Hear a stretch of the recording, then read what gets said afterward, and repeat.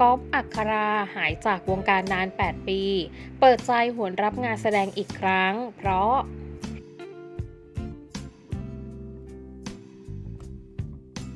ห่างหายไปจากวงการบันเทิงนานกว่า 8 ปีค่ะสำหรับนักแสดงหนุ่มหล่อคุณก๊อฟอัคราลูคัส หรือว่าอัคราอมาตยากุล ที่ล่าสุดแค่เจ้าตัวหวนกลับมารับงานแสดงอีกครั้ง ในภาพยนตร์เรื่องของแขก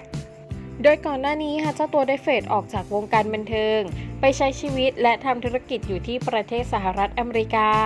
โดยเจ้าตัวค่ะได้เปิดเผยความในใจที่ห่างหายจากวงการไปว่าเพราะว่าเล่นหนังมาเยอะแล้ว บทไม่มีอะไรที่มันแปลกใหม่ทำให้ตอนนั้นรู้สึกเบื่อเลยเลือกไปใช้ชีวิตอยู่ที่เมืองนอก และลองทำธุรกิจใหม่ๆ เพื่อเป็นประสบการณ์ชีวิตของตัวเอง ที่กลับมาเพราะได้รับการติดต่อจากผู้กำกับหนังเรื่องนี้ คิดว่าบทมันน่าสนใจ เลยตัดสินใจกลับมารับงานแสดงอีกครั้ง รู้สึกว่ามันมีอะไรให้เราเล่น มีความลึกลับ ความน่าสนใจ และมันเป็นเรื่องเสน่ห์ของหนัง บทที่รับชื่อวิน และยกให้เป็นอีกหนึ่งการแสดงที่เหนื่อยมากอีกบทหนึ่งในชีวิต งานนี้หากใครที่เป็นแฟนคลับของหนุ่มกอล์ฟนั้น ก็รอติดตามชมภาพยนตร์เรื่องของแขกได้เลยนะคะ